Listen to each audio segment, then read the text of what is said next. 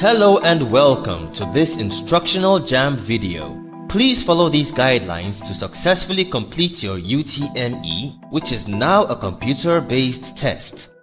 First, type in your JAMB registration number into the text box and click on Login. When you log in, you should see your name and picture at the right hand side of the screen.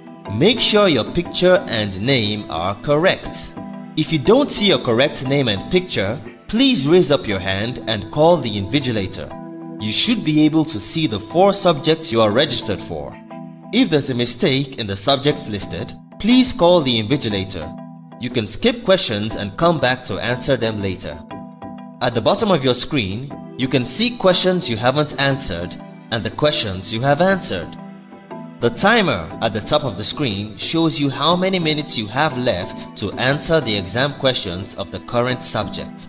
For example, this candidate has 58 minutes left to answer his use of English questions. Brought to you by smoothodmission.blogspot.com.